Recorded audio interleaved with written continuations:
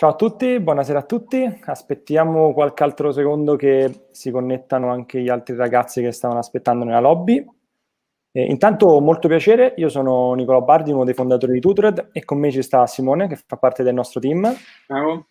E già potete vedere i due speaker, Daniele e Federico. Ciao a tutti. Ciao, ciao ragazzi, ciao a tutti.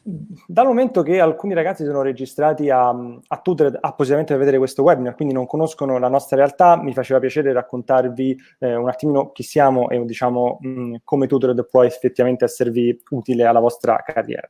Noi siamo una startup, siamo nati qualche anno fa e siamo definiti il punto di incontro digitale tra studenti, giovani laureati ed aziende. Abbiamo sviluppato questa piattaforma dove da un lato facciamo un vero e proprio orientamento al lavoro, quindi all'interno della nostra piattaforma ehm, studenti e laureati possono leggere gli articoli pubblicati dalle aziende che sono presenti sulla nostra piattaforma, è possibile leggere approfondimenti e consigli per come redigere al meglio il proprio CV, come presentarsi ai colloqui di lavoro, quali sono gli sbocchi lavorativi in base al tipo di ambizione e di facoltà che uno effettivamente ha fatto. Organizziamo numerosi webinar, questo diciamo è uno di quelli, quindi sia con eh, giovani talenti, sia con realtà aziendali che raccontano un po' il loro luogo di lavoro e organizziamo anche dei, dei coding challenge e dei business game, quindi un modo diciamo per eh, dare delle challenge alla nostra, alla nostra, community. Allo stesso modo, sulla nostra piattaforma ci sono numerosi annunci di stage e di lavoro ehm, a quale gli studenti e laureati possono candidarsi. Vengono pubblicati da oltre 250 aziende che sono presenti sulla nostra piattaforma di un po' tutte le industrie, quindi dal settore bancario come BNP generali, ma anche abbiamo Lidl, AXA, Accenture, PwC. Ed è possibile candidarsi creando il proprio CPU. Questo webinar qui fa parte di un ciclo di webinar che stiamo organizzando, ne faremo uno tra un paio di giorni con il COO di BMW Bank, Massimiliano Gasparotto, settimana prossima ne faremo uno invece in ambito risorse umane. E, il 22 invece sarà il primo webinar dedicato proprio a come eh, affrontare al meglio un colloquio di lavoro insieme a, ad Anna Casazza. Prima di lasciare la parola agli speaker, un paio di parole su questa piattaforma. I pulsanti importanti sono, sono solo tre, quindi sarà facile. Sulla sinistra trovate un, una nuvoletta conversation, eh, nel quale una chat, nel quale potete scrivere tutto quello che, che, preferite. Quello sotto è un punto interrogativo, question and answer, nel quale potete porre tutte le domande che volete, ehm, a cui volete una risposta. Nella seconda parte del, del webinar gli speaker risponderanno a tutte le, vostre, tutte le vostre domande. E in basso a destra invece avete diciamo, un, un pulsante nero nel quale potete decidere la, la visualizzazione. Quindi se vedere eh, tutti gli speaker, vedere solo chi parla o come preferite. Eh, per me è davvero un grande piacere eh, presentarvi Daniele, Banking Operation Specialist di Flowy, e Federico, Finance Graduate di, Lava, di Lavazza. Io lascerei direttamente la parola a loro, così che si raccontano, si presentano e noi ci vediamo più tardi eh, alle domande. Ragazzi, benvenuti e grazie mille diciamo, di, questo, di questa opportunità. Grazie. Grazie a voi ragazzi. Innanzitutto benvenuti, benvenuti a tutti, eh, io sono, sono, Federico Lugher e come ha detto Nicolò eh, in questo momento lavoro in Lavazza. Eh, chissà cosa ho studiato, eh, io sono originario di Torino dove ho frequentato la facoltà di economia per, per la laurea triennale eh, e dopo mi sono spostato a Milano all'Università Bocconi per la specialistica in management. Durante questi, mm, insomma, il mio percorso universitario ho avuto la possibilità di studiare in Finlandia durante la triennale e alla Copenhagen Business School in Danimarca durante la, la magistrale. Per quanto riguarda invece quelle che sono le mie esperienze lavorative, ho avuto una breve parentesi di sei mesi alla The Craft Times Company eh, a Milano, dove mi sono occupato di sales sul, sul canale retail e successivamente ho lavorato un anno e mezzo circa in Accenture come ehm, nella practice di management consulting sul, su progetti di industrializzazione digitale, principalmente sui settori automotive e fashion and luxury. Da ormai dieci mesi, sembra un sacco di tempo fa, ma sono dieci mesi, eh, sono entrato in Lavazza per prendere parte a quello che è il primo graduate program dell'azienda, eh, questo percorso che della durata di tre anni mi porterà a vedere le diverse funzioni aziendali e ad oggi appunto lavoro nel, nel dipartimento finance, FP&A, dove mi occupo, insomma magari dopo abbiamo modo anche di entrare un po' più nel, in quello che è il mio quotidiano, ma di reportistica e pianificazione principalmente. Um, questo programma mi porterà all'estero il prossimo anno, COVID, COVID permettendo. Eh, oltre, oltre alle, al lavoro, insomma, sono appassionato di sport, ho giocato a pallacanestro, mi diverto ad andare in bicicletta in montagna nel tempo libero. Quindi passerei la parola a Daniele. Dai, grazie mille Federico, grazie anche a tutti per ospitarci eh, per questo webinar. Assolutamente. Um, io sono originario della Sicilia e um, ho 23 anni uh, e il mio percorso formativo comincia a Piacenza, all'Università Cattolica del Sacro Cuore. Uh, lì c'era la possibilità di partecipare ad un dual degree program, che è sostanzialmente un programma di quattro anni invece dei tre anni classici che abbiamo qua di triennale, uh, che ti permette di frequentare due anni in Italia e due anni all'estero. Uh, quindi ho fatto i primi due anni qua in Italia, il classico corso di economia aziendale con um, un focus um, in international business um, e poi mi sono trasferito a Boston, in Massachusetts, um, dove ho studiato presso la Northeastern University. Uh, lì ho fatto una concentration in accounting, sebbene uh, continuassi a, ad avere come major international business. Uh, il mio percorso di studi quindi si interrompe con l'Italia dopo i primi due anni, alla fine dei quali comunque ho fatto un internship in un'azienda uh, siciliana di food and beverage, uh, mentre negli Stati Uniti ho avuto modo di uh, iniziare la mia carriera nel mondo del, della, del finance, dei financial services, perché ho fatto una, un internship di sei mesi a State Street Corporation, che è una custodian bank. E, um, mi sono laureato l'anno scorso a maggio e alla fine del mio percorso di studi ho preso anche un master di primo livello, sempre rilasciato dall'Università Cattolica del Sacro Cuore, um, e a ottobre infatti ho iniziato a lavorare in Flowy.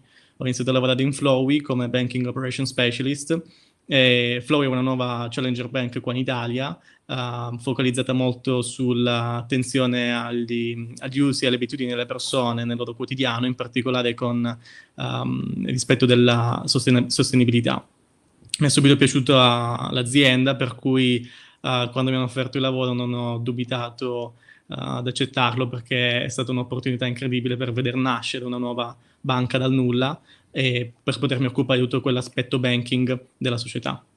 Quindi questo qua è il mio background, diciamo un po' in generale. Ok, dunque quindi Daniele, ora adesso eh, tocca a noi a raccontare un po' quelle che sono magari iniziando dalle differenze eh, tra il mondo corporate ne, all'interno del quale io mi muovo e magari il, il mondo startup come, come la realtà di Flowy. Sì. Da dove iniziare? Um, forse faccio magari un'introduzione, poi tu ovviamente ah. in, integrati come, come, preferisci. Di sicuro le differenze sono tante, nel senso che mh, in una realtà aziendale più ampia i compiti sono, sono molto specifici, ehm, per cui le figure tendono ad essere molto verticali all'interno di quelle che sono le competenze, si diventa molto esperti su quelle che sono le, i task che si hanno in carico, le responsabilità che si hanno in carico. Così come i processi sono ben definiti e mh, rigidi, complessi e, e, insomma difficilmente modificabili. Non so se tu su questo hai insomma l'opposto. Sì, decisamente, um, o meglio, um, quando ho lavorato a Stay Street uh, mi trovo perfettamente con quello che hai detto tu, uh, infatti classica organizzazione comunque con tanti anni alle spalle in cui hanno avuto modo di consolidare il business e quindi tutti gli aspetti anche organizzativi, da, da, dai processi alla, alla, gerarchia anche aziendale, in come rapportarsi nel team eccetera eccetera.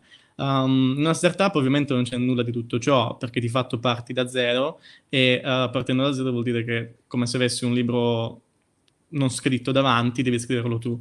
Quindi l'approccio è totalmente diverso perché ovviamente devi applicarti um, in maniera, diciamo, la prospettiva è più a 360 gradi secondo me rispetto a quella di un lavoro in corporate perché ovviamente nel momento in cui vai a disegnare un processo devi tenere conto di tanti altri uh, fattori che possono non riguardare strettamente uh, il processo su cui ti stai occupando. Uh, quindi lavorare in una startup è sicuramente secondo me più, più, più challenging perché uh, ti, ti, veramente ti, ti, necessita una grande apertura mentale, tanta voglia di fare, perché comunque devi metterti, essendo anche pochi inizialmente, devi metterti a fare tanta roba, e, e di avere anche una, una visione, un obiettivo da raggiungere alla fine, perché, ripeto, partendo da zero e quindi con un foglio bianco, devi avere già in mente un pochino lo script che vuoi seguire, no? E quindi, uh, in base a quella visione che è sempre nelle tue idee, devi poi lavorare per metterla in pratica. Quindi quella forse è la challenge più, più grande che una, in una startup si può, si può incontrare e sotto tutti gli aspetti, marketing, gli aspetti legali, gli aspetti operativi, bancari e quant'altro. Quindi quello sicuramente sì. Però dimmi, dimmi, anche tu cosa pensi, perché io ricordo nella, nella, quando lavoravo a State Street, diciamo, i, i processi già ben determinati, la possibilità di ottimizzare certi processi, magari automatizzando certe funzioni e quindi applicandoti più nello specifico a certe funzioni, era comunque molto affascinante e molto intrigante.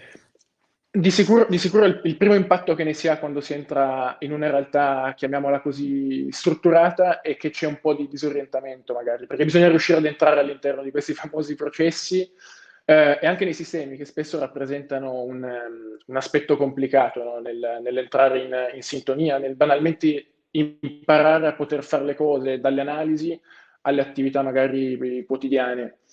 Di sicuro eh, è anche interessante perché magari un occhio fresco, un occhio che arriva, per così dire, da fuori, permette di eh, poter andare a, a, discutere lo status delle cose, permette di andare a dire ma perché facciamo così, perché facciamo cos'ha? Eh, forse sarebbe meglio riuscire a, insomma, a, implementare il processo in questo modo, a seguirlo in quest'altro modo. E secondo me questa è un po' la componente interessante, di avere la possibilità di lavorare fianco a fianco con figure professionali sicuramente molto sviluppate ehm, e che hanno una conoscenza molto approfondita di tutti quelli che sono gli argomenti che si vanno a, a trattare nel, sul, sul, lavoro, eh, ma allo stesso tempo avendo sempre la possibilità di, di portare una, diciamola, un, chiamiamola una ventata di aria fresca, no? di poter cambiare, di cambiare le cose.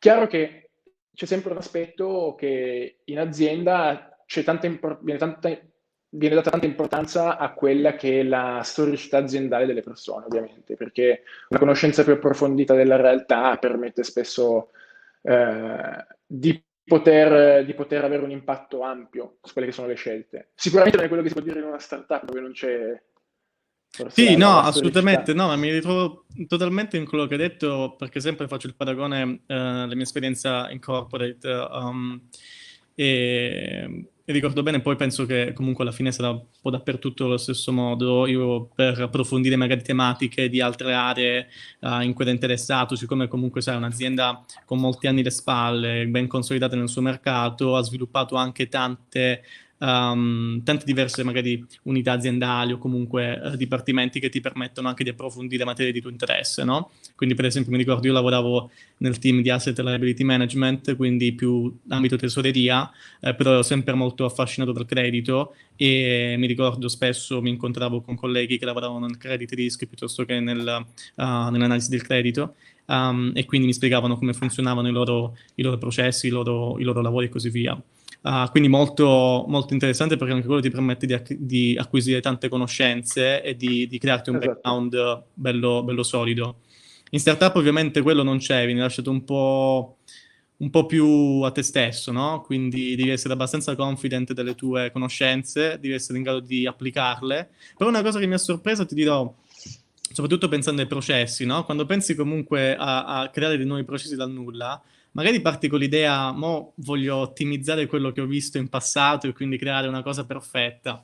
Poi ti accorgi nel tempo comunque, a parte la difficoltà nel fare una cosa del genere, però una volta che il processo è terminato, è già consolidato, eh, ti accorgi, ma forse potevo ottimizzare anche quest'altro aspetto. Comunque cerchi sempre di migliorare quello che hai fatto e quello che vai a fare. Uh, per cui c'è un'ottica di apprendimento continuo anche in una startup e non necessariamente uh, ti puoi diciamo cullare su quello che hai preso prima, ma devi anche iniziare a, a, a, prendere cose nuove, proprio magari cose mai viste, cose che nessun altro può dirti perché vai a lavorare veramente con te stesso e con dei colleghi che anche loro si interfacciano su cose nuove. Per cui ci sono un po' di, di differenze, ma anche di, di, di, similitudini. Una cosa che mi ricordo um, in, a State Street come hai detto tu, poi è data anche dal fatto della storicità comunque aziendale e sicuramente la cultura. Cioè la cultura eh, di un'azienda per me, per me, è fondamentale anche nella scelta di, di un lavoro, no? E ricordo comunque quando mi applicai a State Street eh, sapevo bene quello a cui andavo incontro, una classica banca del, non di Wall Street perché l'headquarter sta a Boston, però su, su, quella, su quella linea lì. E quindi abbastanza formale, abbastanza anche nei, nei rapporti umani molto, uh, molto, professionali, molto formali e tutto. Uh, in una startup invece la cultura uh, devi sempre partire da una visione magari comune ai tuoi, ai, ai tuoi, ai tuoi colleghi ehm, per poi andare ad applicare, a creare nel tempo una cultura aziendale vera e propria, che secondo me è, diciamo, è, deve avere un appiglio mentale molto forte perché non è qualcosa che puoi vedere né toccare con mano inizialmente, quindi è qualcosa che vuoi sviluppare, che devi sentire molto dentro, soprattutto i valori che condividi insieme ai, a, al tuo team, perché altrimenti rischi di, di cadere anche magari, sai, in uh, demotivazione e, e uh, come si dice, certo. no? essere poco produttivo anche.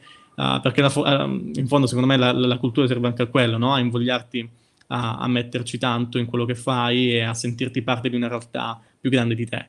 No? In una startup invece sono tante piccole realtà inizialmente, un individuo che poi in una collettività che si viene a creare si va a sviluppare quella che è la cultura aziendale, quindi è una cosa molto più uh, lenta, graduale e, e, certe volte anche, sai, devi... In definizione proprio.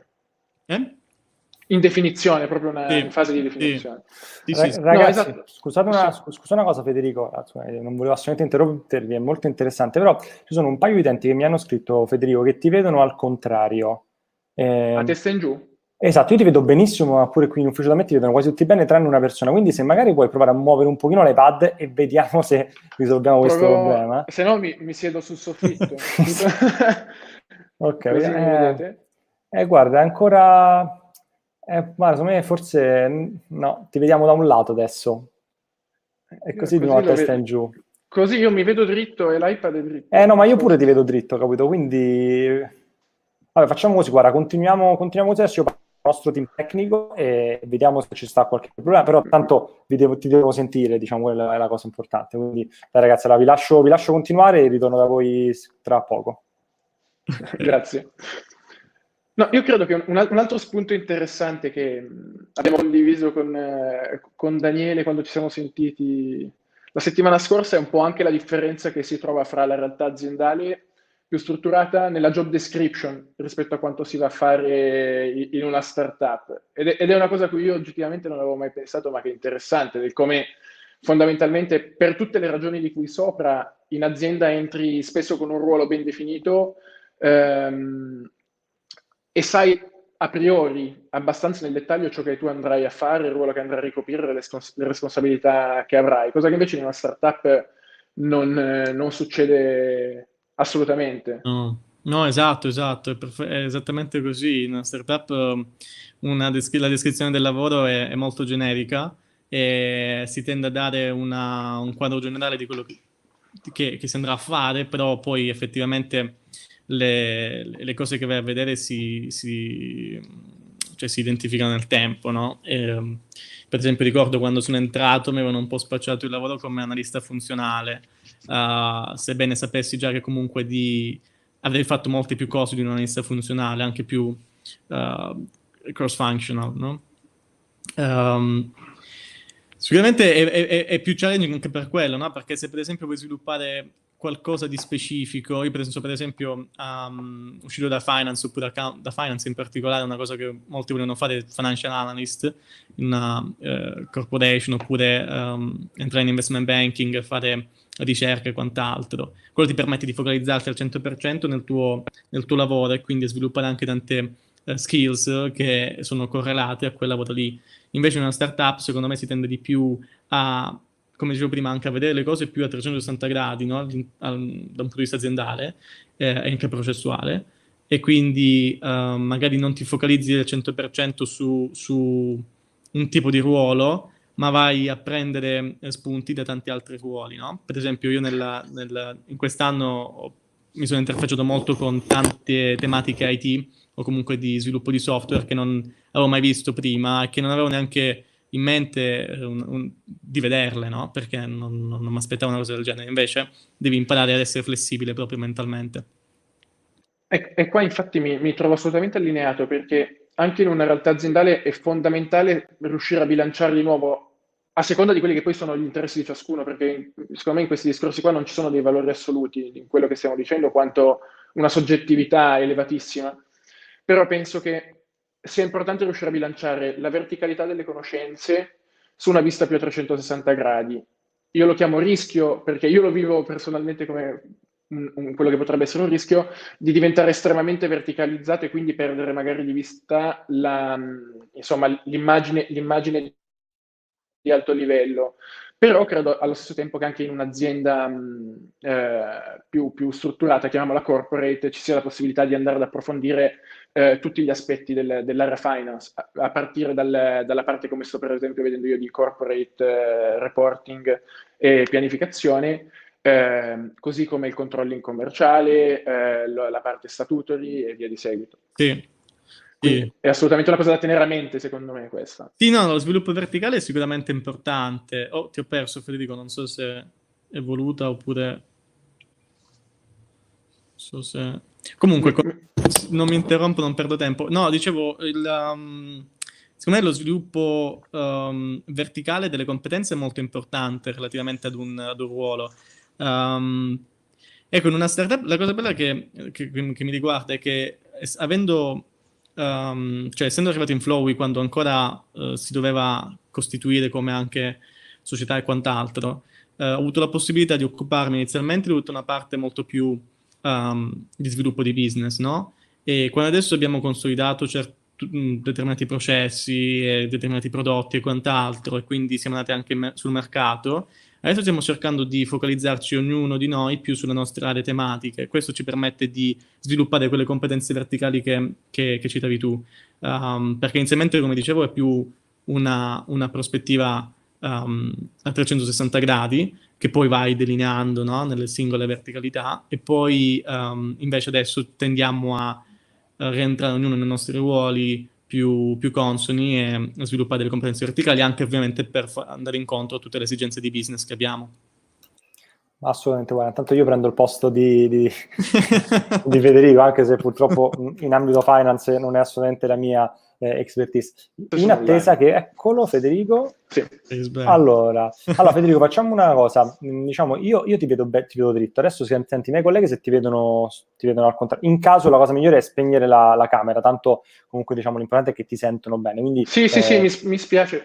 Eh, ho visto che c'è un flag rientrando del flip locally, non so se eventualmente eh. quello potrebbe essere... Adesso eh. l'ho flaggato. Se... Eh, vediamo, no, purtroppo è ancora... ancora Provo a fare questa manovra al contrario. Guarda, purtroppo secondo me eh, siete che si è incastrato qualcosa, eh, però sì, se vuoi provare a rientrare... Faccio ancora questo tentativo. Esatto, fai quest'ultimo tentativo, tanto io rimango qui e faccio una domanda eh, a Daniele che mi sono segnato, sì. vediamo se funziona, se no poi spegniamo. Una, una domanda che diciamo già, stava, già stanno arrivando un po' di domande, anzi io invito i ragazzi presenti che sulla parte del punto interrogativo possono fare le domande. Una primissima domanda eh, che è arrivata ed è un, è, un, è un, classico, quindi adesso la faccio a te, poi dopo la faremo pure a, a Federico, è eh, un consiglio che tu ti senti dare per trovare uno stage in ambito finance. Okay? O, ovviamente, diciamo, oltre a Tutored, che eh, come, come, sanno tutti, diciamo, abbiamo un sacco di opportunità in ambito finance, però oltre alla nostra piattaforma, cosa altro tu consiglieresti, ma levando la piattaforma in sé proprio a livello, diciamo, strategico, no? perché trovare lavoro è un lavoro eh, quindi il tema è tu che consiglio ti senti di dare a, a un ragazzo che sia un laureando, un laureato che è alla ricerca di, di un primissimo stage? Sì, um, beh, inizialmente dico cercate di chiedervi le idee su che tipo di finance volete andare a fare, perché quando si parla di finance purtroppo parliamo di un mondo molto ampio che spesso ha delle sfaccettature totalmente diverse l'una dall'altra. Ok, quindi uh, capite un po' che ambito. Per esempio, quando ero io eh, a Boston uh, c'era un po' il sogno dell'investment banking, uh, oppure dei, di private equity, mm, wealth management, queste cose qui che sono, diciamo, le, le il fiore all'occhiello del, del, mondo del finance, almeno sono considerate così da molti. E poi c'è invece tutta la parte più di eh, finanza, di corporate finance, che può andare a fare sia in istituti finanziari, quindi banche, banche di investimento e quant'altro, oppure in, in aziende private. E quindi ti interfacci magari con tematiche più legate anche al mondo contabile, come può essere uh, la gestione della tesoreria, piuttosto che uh, il monitoraggio del, dei ricavi e, e quant'altro. Um, il, il mio consiglio, quindi, prima di tutto, chiedetemi un attimo cercare di capire voi stessi cosa volete fare e soprattutto su che cosa siete appassionati quando si parla di finance, cioè finance applicata ad un prodotto, finance applicata al, al mondo finanziario e quindi dei uh, mercati finanziari e quant'altro.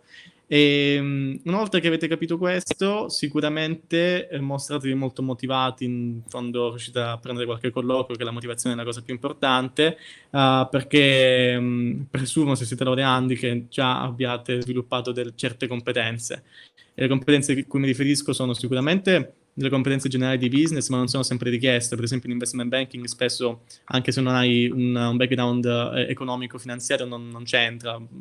Accolgono gente a tutti i background proprio perché interessa anche avere una diversità uh, di pensiero interna. Uh, però competenze in ambito informatico, quindi per esempio quando parliamo di Excel, questo è un must ormai per uh, qualsiasi lavoro in finance, ma deve essere un Excel solido, solido e comprovato, nel senso dovete, dovete essere in grado di dimostrare le competenze che avete acquisito nel corso del, del vostro percorso universitario. Um, e poi, e poi, poi, basta, essenzialmente questo. Excel, ovviamente tutto ciò che viene sopra Excel, che può essere per esempio conoscenza di linguaggi di programmazione, oppure di data visualization, data, data, data analytics anche, uh, sono tutte competenze che sono molto molto ben viste, a prescindere dal background che avete da un punto di vista formativo. Um, quindi sicuramente focalizzarsi, se siete all'inizio di un percorso accademico, tenete a mente la, la, la, la, cosa principale, ovviamente sì, una brillante carriera accademica, quello che dicono tutti, ma soprattutto la ehm, consapevolezza che dovete avere delle hard skill e delle soft skill molto ben sviluppate già alla fine del vostro percorso accademico. Non aspettate il mondo del lavoro per svilupparle, perché sarà troppo tardi a quel punto. Questo è quello che mi sento di dire. Ass- assolutamente, guarda, molto interessante. Allora, io adesso, prima di rifare la stessa domanda a Federico, ovviamente, io però ti chiederei, visto che alcuni ragazzi mi stanno continuando a dire che purtroppo sei a testa in Dis- giù. Disattivo. Esatto, disattiva la camera disattivo. semplicemente perché magari, esatto, tanto ti parla, vediamo se ti sentiamo bene. Mi sentite bene? Perfettamente. Non so se hai sentito okay. la domanda, comunque la domanda era un classi- una classica domanda che è arrivata prima da, eh, da, Francesca che diceva dei consigli, un consiglio che ti senti di dare per trovare uno stage in ambito finance. Allora, io innanzitutto confermo tutto quello che ha detto Daniele in ultima battuta, perché qualcuno me l'avesse detto 6-7 anni fa sarei stato molto felice.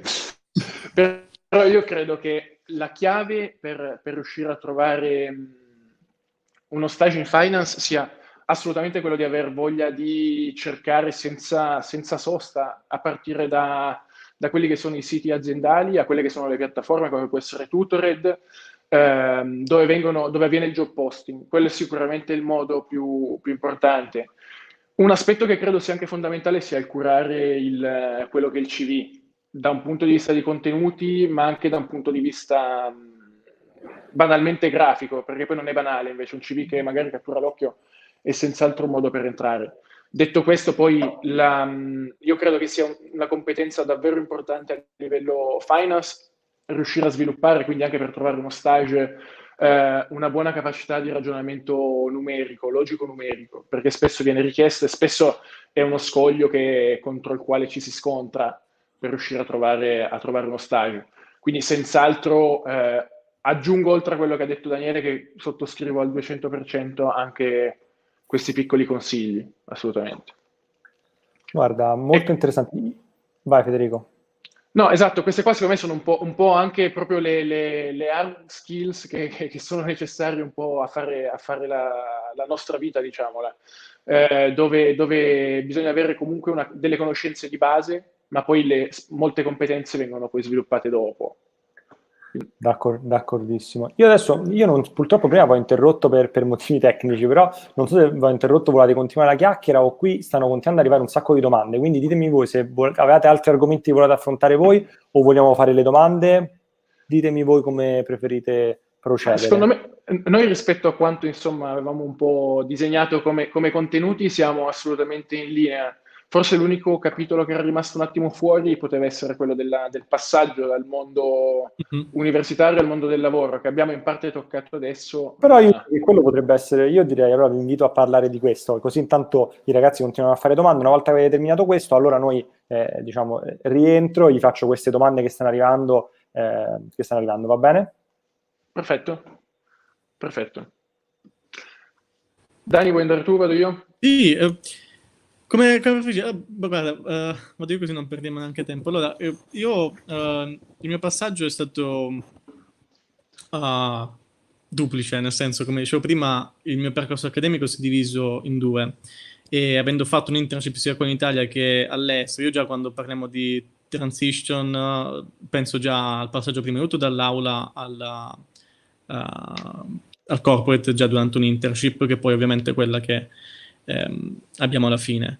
E che dire, eh, la, la, cosa, mi ricordo nella mia prima internship ero super emozionato nel poter applicare uh, tutti i concetti che avevo preso in, in, aula, soprattutto per quanto riguarda se, analisi di bilancio piuttosto che um, analisi di mercato e quindi analizzare tutte, tutti i dati che l'azienda aveva a disposizione per uh, arricchire le mie conoscenze quanto più possibile.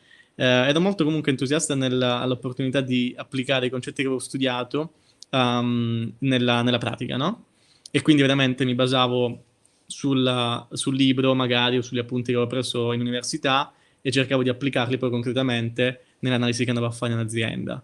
Um, non è stato così per la seconda internship che ho fatto a Boston, uh, perché lì andavo a fare un lavoro che non avevo idea di cosa fosse, nel senso, Sapevo cos- alcune cose sulla, um, sul mondo bancario, in particolare quando si parla di tesoreria e quindi della, um, de- dell'aspetto uh, più di financial reporting, no? Però c'erano molte cose a me sconosciute, come per esempio molte correlazioni fra um, fattori macroeconomici e fattori di business, oppure eh, molte strategie di business anche applicate all'interno del, dell'azienda per uh, ottenere certi risultati. Um, tutte queste cose qua le ho prese uh, on the job. Quindi in quel caso il, quello che avevo preso in aula l'avevo un attimo messo da parte pur sempre ricordandolo um, e mi ero focalizzato più che altro sulla, sull'ascolto, no? un active listening nei confronti di tutto il mio team e di tutte le persone che mi stavano attorno per apprendere quante più cose possibili e poi per applicare quelle cose, mischiandole anche a quello che avevo preso in aula, nel, nel lavoro che dovevo fare. Quando invece alla fine mi sono trovato qua in Flowy, e a quel punto diciamo è stata la culmination per uh, unire tutte queste esperienze qua. E quindi um, da un lato uh, mi sono interfacciato costantemente con persone, per esempio, che vanno a sviluppare il front-end, quindi nel nostro caso, essendo una mobile bank, si parla dell'app, e quindi tutte queste dinamiche tecnologiche che non, verso le quali non ero per niente familiare. Um, a quelle poi um, davo il mio contributo con le conoscenze e l'esperienza che avevo maturato in ambito finance e soprattutto in ambito contabile. Quindi uh, ho, ho, mischiato un po' tutte e due le cose per alla fine ottenere quello che secondo me è stato un risultato abbastanza ottimale, ovvero sviluppare qualcosa di nuovo, qualcosa di mio che si potesse applicare anche alla società. Però forse tu che, che, che sei stato completamente, completamente, in Italia potresti aver avuto una, un effetto diverso. Non so Federico, tu come perché ricordo che hai fatto anche un'esperienza in consulting. Che sì, è... io... Ci sei? È, è, è, decisamente, è, decisamente, una realtà diversa quella della consulenza rispetto, rispetto a quella del, dell'azienda. Magari tocco anche questo tasto. Io, in estrema sintesi, credo che il passaggio dal, dal mondo universitario accademico, soprattutto quello italiano, che è molto nozionistico spesso, ehm, non sia esattamente banale, cioè bisogna riuscire a tenere bene a mente quelli che sono un po' delle, diciamo così, quelli che possono essere i nostri fari guida che permettono poi una, una transizione efficace.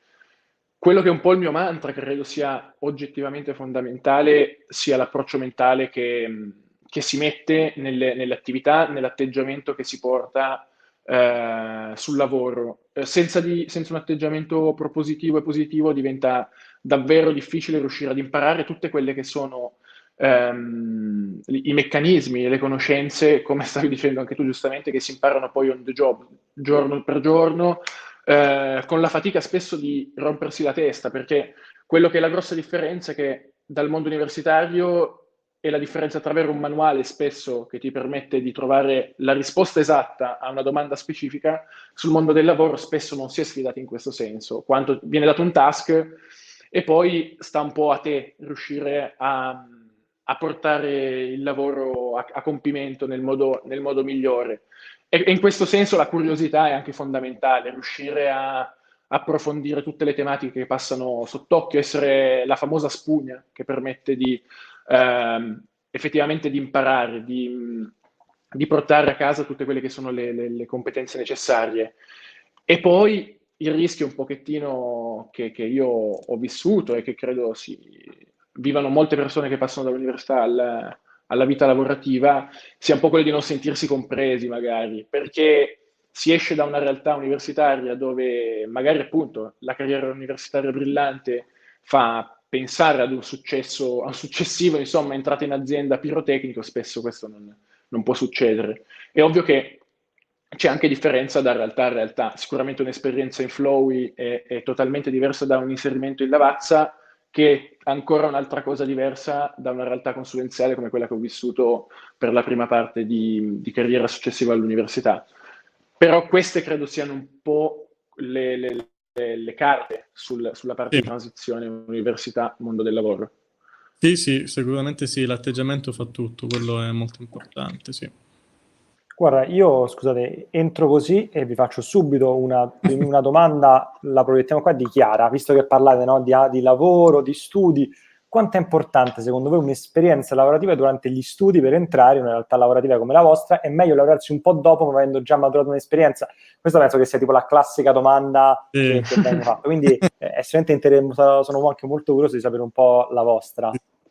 Sì, secondo me, vado io scusa Federico, um, la domanda è una bella domanda, ehm, e la risposta è sicuramente sì.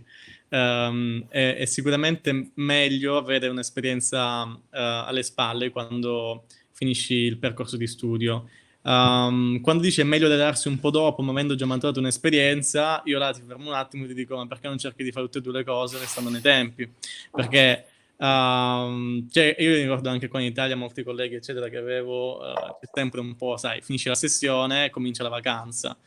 In America invece mi sono confrontato a una realtà molto più work oriented, quindi quando hai tempo inizia subito a lavorare, no? Anche per esempio summer jobs e altre robe del genere. Molte internship di fatto sono nel periodo estivo proprio perché ti permettono di finire gli esami e di concentrarti su un lavoro, su qualcos'altro. Quindi non restare mai con le mani in mano, ma cerca sempre di darti da fare, così da ottimizzare i tempi e ottimizzare anche le esperienze che porti a casa. Che alla fine, ovviamente, se ti presenti con un curriculum in cui hai già uh, delle, delle, esperienze pregresse, è, un è, una bella figura, hai qualcosa da dire anche a, ai recruiters nel momento in cui parli uh, con loro e um, poi raccontargli le tue esperienze. È sempre apprezzato capire uh, cosa, cosa hai fatto, come l'hai fatto, cosa hai visto um, e, e, non presentarti invece semplicemente con una brillante carriera accademica, però pur sempre esclusivamente accademica.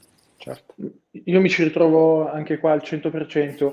Um, di sicuro alcune università lo fa- facilitano questo aspetto perché spesso richiedono dei curriculum, eh, all'interno del curriculum universitario inseriscono un'esperienza aziendale già di una certa rilevanza, come per esempio la mia era stata di sei mesi. Eh, però di sicuro di nuovo l'approccio, la voglia di mettersi in gioco anche prima che l'università te lo chieda, eh, è sicuramente un, um, un, più che ci si ritrova nel lungo termine. Eh, la, la, la, mia esperienza pregressa era stata in una realtà microscopica di organizzazione di eventi, che però mi ha dato modo, tra virgolette, di non essere mai più al primo giorno di lavoro, perché cambia la realtà ma la verità è che il primo giorno di lavoro, dopo che hai già avuto degli altri primi giorni, non è la stessa cosa. Ti permette di presentarti con un bagaglio di conoscenze e anche banalmente di serenità eh, in quelli che sono i tuoi mezzi, che senz'altro è poi impagabile quando vai a giocarti la, magari la, la sfida della vita, l'entrare in, una, in un'azienda più, più blasonata, anche banalmente. Eh, e considerate che anche se qua in Italia so, be- so, per certo che molte aziende non fanno internship estive o comunque sono ancora uh, ferme, che ne so, al, agli stage durante l'anno, così un po' uh, quando gli pare piace. Uh, andate all'estero. All'estero è una cultura ormai assodata e consolidata, quella delle summer internship, soprattutto le grandi aziende mettono a disposizione veramente tanti tanti posti per interno durante il periodo estivo soprattutto sede internazionali, molti, a molti fa anche piacere avervi nel periodo internazionale e sono anche più predisposti talvolta a sponsorizzarvi per il lavoro, se per un'internship estiva. Quindi non, non, es- non, esitate anche ad andare fuori o comunque a ricercarle veramente fuori dagli schemi solito. Assolutamente, assolutamente, guarda, diciamo, fare un'esperienza durante gli studi è anche un modo per imparare a lavorare, che sono quelle cose che magari uno non ci pensa, però poi quanti ragazzi entrano no, eh, in un'azienda e neanche sanno come si scrive una mail o si mette in copia una persona, no? cose che magari possono sembrare banali, però ecco, aver già fatto una piccola esperienza lavorativa comunque durante gli studi permette di arrivare molto più preparato poi al mondo, al mondo del lavoro. E qui infatti mi aggancio un'altra cosa che avete già, avete già parlato prima, però magari è un'altra domanda che l'hanno fatta in tre, il tema delle, delle competenze. Qui, qui la, la, domanda di un anonimo è stata, il mondo finance sono più importanti le soft skill o le hard skill? Io qui aggiungo quali effettivamente, ok, soft skill, hard skill è interessante, però cosa secondo voi, o meglio, cosa nella vostra esperienza avete notato, avete notato che sì. funziona meglio. Quindi magari questa volta facciamo partire Federico. Sì, allora, eh, secondo me non è bianco o nero, nel senso che non, eh, non, si può dire se siano più importanti le soft o le hard. Di sicuro il mondo finance è un mondo dove le, le, hard skills sono fondamentali, dove di nuovo Excel è il pane quotidiano, dove ehm, per chi ha le competenze anche di eh, Big Data Analytics, a partire da tutti i programmi di, di analisi dei dati, c'è un evidente vantaggio eh, nella gestione del dato e le hard skills sono, sono sicuramente fondamentali, però il rischio di... Ehm, di tralasciare le soft è elevato. Eh, anche nella realtà finance una buona gestione delle relazioni, buone capacità di sintesi, di presentazione, secondo me sono fondamentali, eh, sempre in un'ottica di crescita professionale fino ad arrivare a livelli più, più elevati e, e manageriali. Quindi secondo me non è o l'una o l'altra. Diciamo che le hard skills sono condizione necessaria, Mm, no, sono d'accordo con te, Federico. Le, le hard skill, soprattutto Excel, è, è, determinante. Uh, poi, vabbè, si può mentire nel curriculum, magari non ti testano durante il, um, durante il processo di selezione, poi arrivi i primi giorni di lavoro e ci fai una figuraccia. Poi qua in Italia hanno licenza 9 per cui vai tranquillo, però se sei già all'estero rischi che ti cacciano subito. Um, hard skill secondo me sono leggermente più importanti, ma solo perché le soft skill è solitamente più semplice eh, svilupparle, più, velo- più, veloce anche svilupparle um, nel mondo del lavoro. Uh, ovviamente però quando si parla di soft skill, le presentation skill sono molto importanti, quindi sì, ma già quello che ne accorgi durante una, un colloquio, la persona è in grado di, di saper parlare, di saper esporre con- i contenuti in un certo modo e, e di sapersi porre in un certo modo, a quel punto hai le soft skills, secondo me, necessarie per ottenere il lavoro. Poi le altre, magari che si aggiungono dopo, uh, le, le, le, puoi, le, puoi, imparare sul mondo del lavoro, anche attraverso, per esempio, i feedback.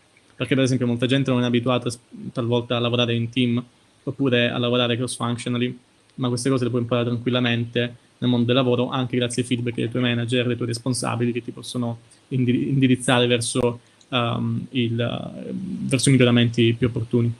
Se, se posso aggiungere un'ultima, un'ultima cosa, certo che eh, è sicuramente importante anche avere ben chiaro ciò che è rilevante, eh, più come soft skill, eh, nel senso che magari il rischio di andare a focalizzarsi su un qualche cosa di non rilevante è elevato, ma quando si parla con interlocutori di alto livello invece bisogna riuscire a passare uno, due, massimo tre messaggi perché dopo cinque minuti l'attenzione se n'è già andata.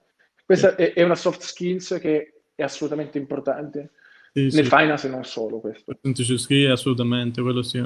Sì, sì. Io ti, mi trovate? Ti interrompo Nicola, però voglio stressare il team working, cioè quando entri in una, se non hai mai lavorato prima e entri in un'azienda, non voler fare il, la prima donna oppure quello che sa tutto io o fa tutto da solo, il team working è importante, devi saperti uh, veramente rely no? on your teammates, devi, devi essere in grado di uh, appoggiarti a loro, seguire i loro consigli, chiedere uh, aiuto quando ne hai bisogno senza problemi. Questo è molto, molto, molta gente non riesce ancora a lavorare in team working. Assolutamente. Io invece volevo collegarmi a questo discorso delle hard soft skills per farvi, farvi questa domanda uh, che riguarda i tool, che è una domanda che insomma, è stata fatta un paio di volte, ossia quali sono i tool che utilizzate più spesso eh, li avete imparati, aggiungo io, avete imparato ad utilizzarli lavorando oppure anche all'università, per esempio, avete, modo, avete avuto modo di eh, insomma, iniziare a capire come funzionavano, eccetera? Vabbè, eh, parto io al volo. E, ah, sicuramente Excel e tutto il pacchetto Office, Excel, Word, PowerPoint, quella sono, sono il pane quotidiano. Um, e poi ho avuto la fortuna di interfacciarmi con data visualization, quindi con due tool di data visualization. Il primo è Tableau, eh, che è, um, l'ho usato più che altro in progetti accademici in America, um, molto molto bello secondo me, e, che puoi utilizzare dappertutto. Io per esempio l'ho utilizzato applicato all'ambito dell'audit. Non avevo mai pensato di utilizzare un software del genere in auditing. Um, perché spesso sai, si pensa a data visualization, questi tools spesso si pensa magari a marketing o possibilità di um, no, creare cose belle per, uh, per, il marketing. Invece anche in tante altre discipline si possono applicare. E poi qua adesso dove lavoro invece stiamo utilizzando molto Power BI e quindi come, sempre come software di data visualization uh, Power BI è molto, molto utilizzato, lo vedo anche in competitor e altre, altre aziende nel settore. Per cui quelle là sono, sono due tool che, che, che sicuramente è buono avere. E hai imparato ad utilizzarli lavorando, quindi? Eh, Tableau in università, qua eh, lavora, Power BI invece qua lavorando, Excel invece in, in, uh, principalmente in università, Excel, PowerPoint e tutte le altre, e lavorando poi ho consolidato, ho imparato certe, certe io, credo che la parola d'ordine sia spesso Excel, Excel, Excel, nel senso che e quando non basta ancora Excel. No, al di là delle battute, eh, la, spe, gran parte della vita spesso è su Excel, sull'analisi dei dati. Eh, purtroppo io non, eh, non, eh, non, era un tool che ho utilizzato troppo in università, eh, dove invece avevo imparato a usare R per l'analisi dei dati eh, e poi insomma, però sul lavoro Excel è diventato il pane quotidiano, eh, cominciando anche con qualcosa di Visual Basic, quindi con qualche funzionalità legata alle macro che permette di automatizzare dei processi eh, in modo efficiente. Mi ritrovo assolutamente su Tableau e Power BI. Probabilmente dovessi investire un penny adesso lo investirei su Power BI perché sta prendendo sempre più piede e risulta un tool più, più, maneggevole, più semplice, più immediato, più flessibile rispetto a un Tableau mm-hmm. che ogni tanto mostra un po' i suoi, i suoi lati, i suoi mm-hmm. limiti, esatto. Ultimo strumento è SAP, che ogni tanto ho avuto la fortuna e la sfortuna di, di utilizzare, però solo in azienda ovviamente, SAP. Sì.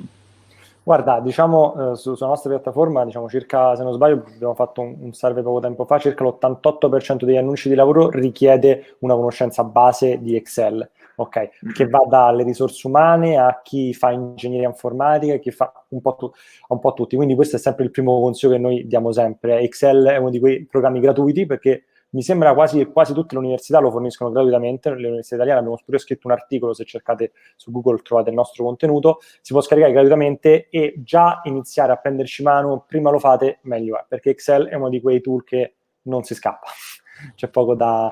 Non eh... si scappa? E, e, se posso aggiungere, io credo certo. che con la, con la giusta curiosità e il giusto atteggiamento in veramente poco tempo si riesca ad arrivare a un livello tale per cui diventa poi faci- si entra facilmente nelle realtà aziendali. Poi, chiaro, arrivare a fare analisi complesse, costruire certo. modelli è un'altra storia ancora, però per, per arrivare ad avere queste conoscenze base in, con i giusti tasti in poco tempo ci si arriva.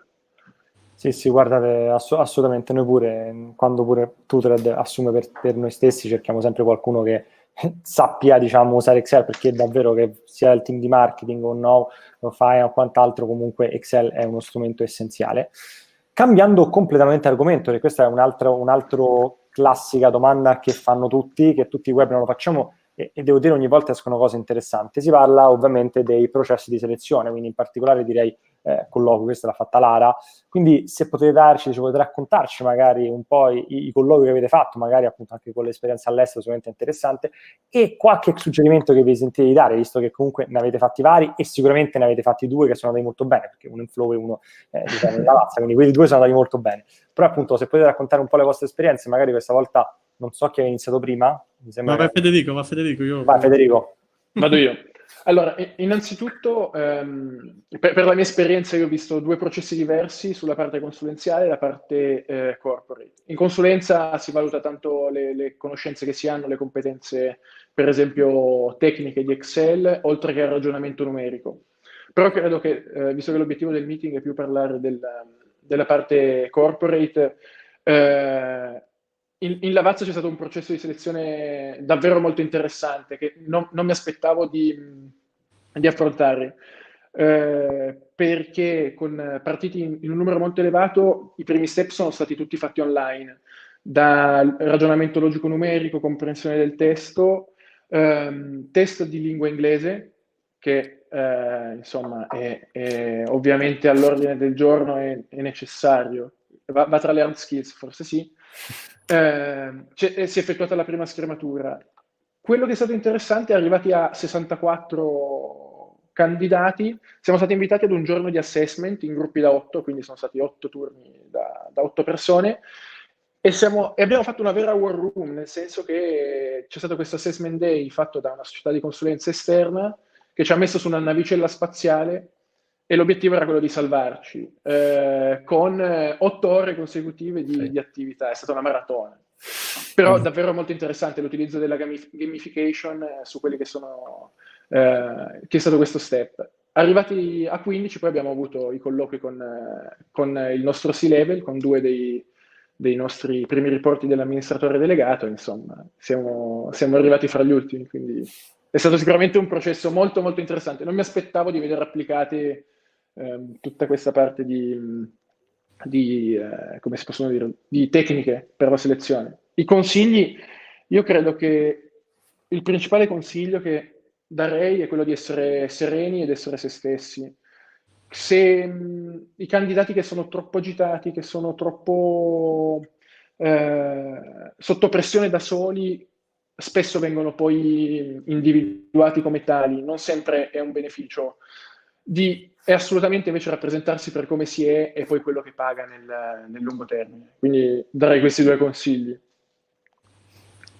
Io, su, ah, per queste selezioni, quello in flow è stato un po' diverso dal normale perché io non l'ho detto prima perché eh, è stata un'esperienza molto veloce, però io sono arrivato in flow come consulente, e, mm, però mi hanno accolto fin dall'inizio come uno di loro, per cui diciamo, ho dimenticato quella... Non voglio dire dimenticato perché quella società è stata molto, è stata molto buona nei miei confronti, però um, eh, sono arrivato come consulente, quindi loro hanno avuto modo di conoscermi in quei due o tre mesi di, consulenze, di consulente che ho fatto, per cui uh, hanno visto il mio metodo di lavoro, hanno visto le mie conoscenze, hanno, uh, insomma, hanno capito chi ero e di conseguenza nel momento in cui uh, c'è stata l'opportunità di farmi l'offerta me l'hanno fatta senza, senza pensarci due volte o farmi altri, altre domande, altri colloqui perché non c'era più bisogno.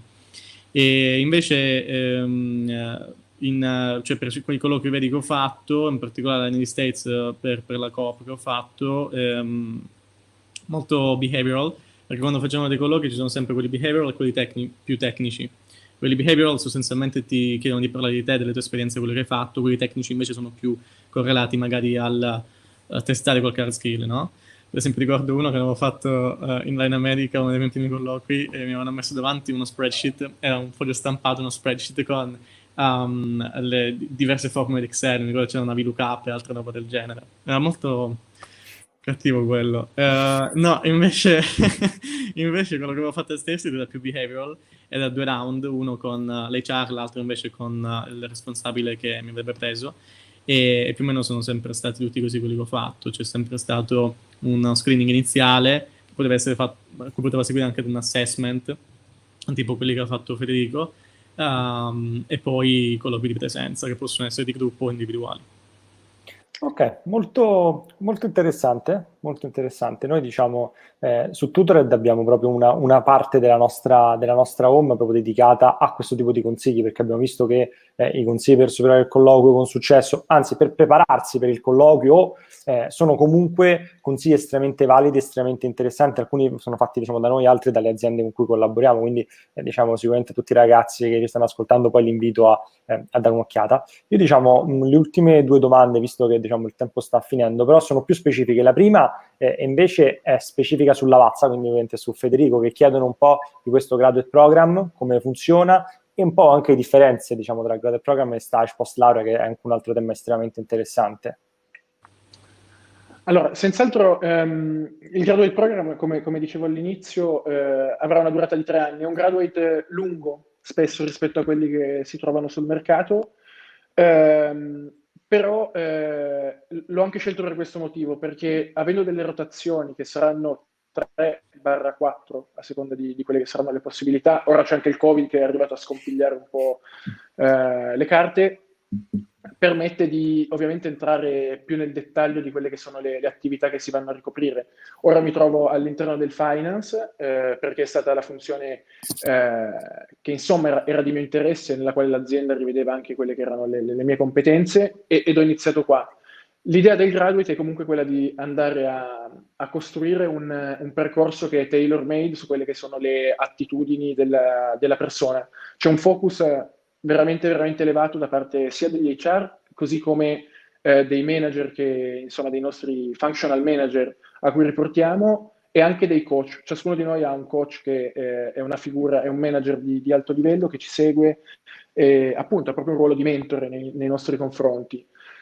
Detto questo, appunto, eh, insieme al, al, al, coach e all'HR si va poi a definire quelli che sono i passaggi successivi.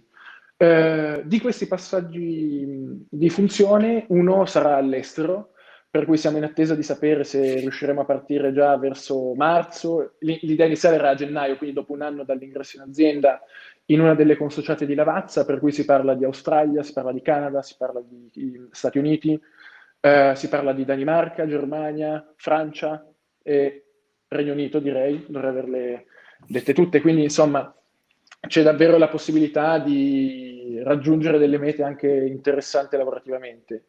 Eh, dove si, dove si, finirà, tra virgolette, alla fine del percorso sta proprio un po' a ciascuno eh, di noi dieci, appunto siamo in dieci a, a aver iniziato questo, questo percorso.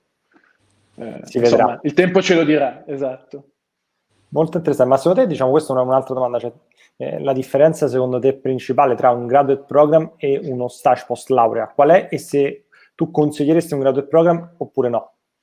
Allora, io credo che anche vedendo un po', facendo un po' di benchmarking sugli altri ragazzi che sono entrati con me, eh, che probabilmente fosse capitato qua, senza un'esperienza lavorativa precedente mi sarei trovato in difficoltà. Eh, quindi credo che il mio essere strutturato mi, mi permetta di performare al meglio in un, in un graduate non vuol dire che per accedere a un graduate si debba avere un'esperienza pregressa, ci sono dei colleghi che non, non, avevano esperienze prima. Se si ha un background solito, anche da un punto di vista tecnico, non bisogna aver paura. Di sicuro un graduate è comunque un acceleratore, anche nel lungo termine, eh, e quindi la posizione di atterraggio dovrebbe poi essere, eh, diciamo così, più elevata rispetto a quella mh, mm, a cui magari si accede da, con uno stage eh, curricolare o meno. Quindi un graduate secondo me è preferibile a parità di scelta, però è più sfidante. Ok, sono, sono d'accordo. Io farei, diciamo, l'ultima domanda la farei invece a Daniele, perché parlano di Flowy, quindi, diciamo, magari quello che, che ne pensi, ovviamente non è il tuo ruolo, quindi giustamente non sai, però quali sono le competenze che richiedono in realtà come Flowy, anche se immagino che essendo un team grande ci sono varie, eh, ovviamente vari reparti, vari, vari team, quindi è difficile rispondere, però se puoi magari fare una panoramica di Flowy che sicuramente interessa ai ragazzi che sta, ci stanno ascoltando. Sì, sì, sì, sì, sì. Allora, um, allora sicuramente tanta voglia di fare, uh, è la, la, competenza principale che, che uh, qua in Flowy chiediamo a chiunque entri, cioè tanta voglia di fare, tanta voglia di apprendere e una mente elastica e aperta a tutto, veramente. Uh, tanta motivazione perché eh, ci teniamo veramente ad assicurarci che chiunque prendiamo sia um, appassionato all'azienda, in particolare ai nostri valori e alla nostra, alla nostra mission. E, però quando parliamo di competenze ehm, lavorative, eh, guarda, ti dico, l'Excel è quello che sicuramente chiediamo a tutti. Um, eh, almeno io chiedo a tutti, eh, se qui capito io con me per fare il colloquio sono un po' più stranzetto. No, um, no ci tengo molto al, al fatto del, dell'Excel anche perché vi facilita tanto la vita in quello che facciamo, dato che comunque i ritmi di, questa, di una startup come Flowik, ma come qualsiasi altra startup, sono molto molto veloci. Quindi sostanzialmente... Eh, ovviamente sì, 9-18 l'orario standard, però spesso si fanno overtime eh, si, si, richiede anche una certa concentrazione durante tutto il tempo. Um, multitasking purtroppo spesso deconcentra, però è inevitabile per le mil- moltitudini di uh, attività che seguiamo contemporaneamente. Um, e quindi uh, sicuramente le principali competenze sono più soft skill che, che hard skill, perché chiediamo team working, uh, perché appena entri dentro facciamo di tutto per farti sentire a casa, ma sicuramente lavorare in team e quindi essere in grado di uh, relazionarti con altre persone del tuo team è molto importante per facilitare le comunicazioni, anche il lavoro a tutti.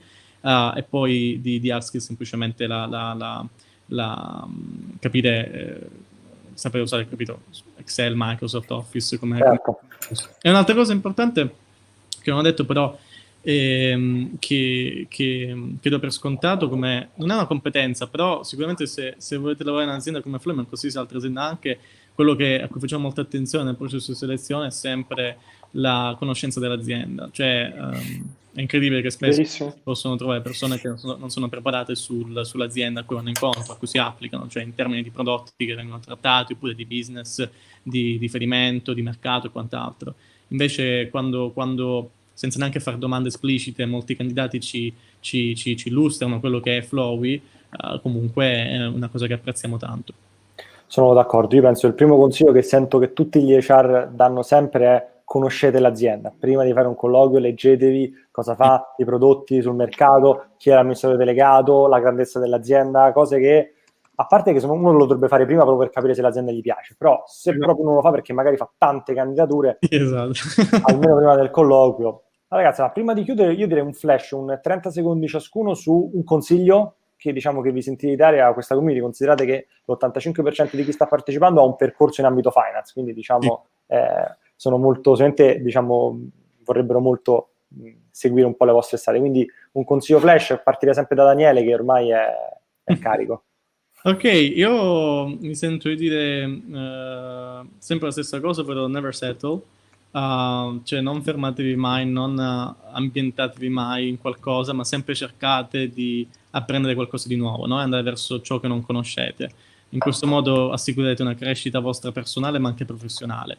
E, ehm, e, soprattutto, e poi l'altro consiglio che ci tengo a dare è non avete paura di, di, rischiare, nel senso buttatevi, se c'è un task un po' challenging che avete paura magari di non riuscire a fare, chi se ne frega, prendetelo in mano, cercate di, di, di fare, di dare il massimo, di fare quello che potete e, e, poi saranno altri a darvi consigli su come migliorare o a complimentarsi se avete fatto bene. Eh, quindi non, avete, non, abbiate mai paura di, veramente di buttarvi in qualcosa di nuovo, in qualcosa che non conoscete, uh, ma confrontatevi sempre con voi stessi, che è la cosa migliore per progredire meglio. Federico? Io credo che mh, quello che sia fon- veramente fondamentale nel mondo del lavoro sia la motivazione che, che ci spinge avanti, che ci spinge a, fare, a prendere le, le, scelte che insomma la vita ci, ci pone davanti.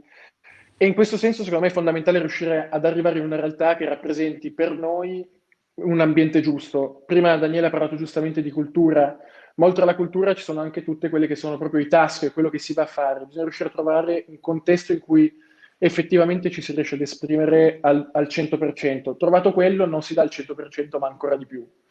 E, ehm, e l'ultimo punto che, che mi sento di dire è anche quello di essere sempre pronti al feedback, a ricevere e anche al darlo quando si è nella situazione di poterlo dare, perché forse stiamo affrontando un po' un cambio generazionale in questo senso, e soprattutto in Italia si sta andando verso una, una, cultura più del feedback, curiamola perché è fondamentale riuscire a sia a riceverlo che anche a, a darlo in modo corretto.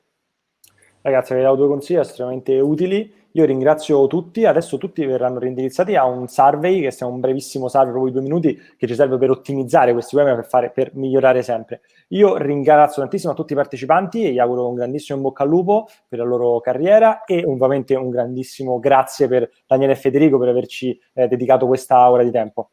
Grazie no. mille ragazzi e buona serata a tutti. Grazie a voi. Grazie, ciao. Ciao ragazzi. Grazie, ciao ciao.